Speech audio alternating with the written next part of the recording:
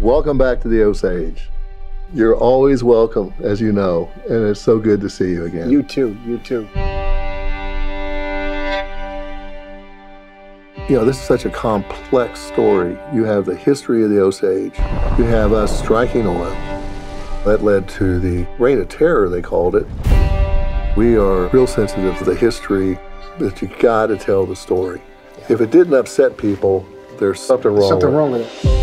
When this money started coming, we should have known it came with something else. When I asked you, what is your approach? You said, I want to tell a story about betrayal of trust between the Osage people and the outside world. By focusing on Ernest and Molly, it's like an analogy of the overall situation.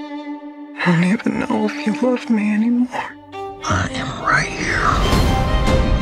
I was concerned about uh, someone else telling our story. But uh, when, when you came on board, you said, we're going to film here.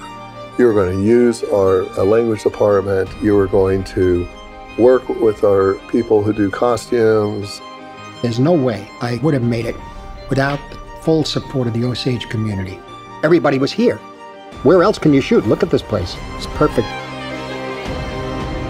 We have a different culture, and you portrayed that so well, so accurately.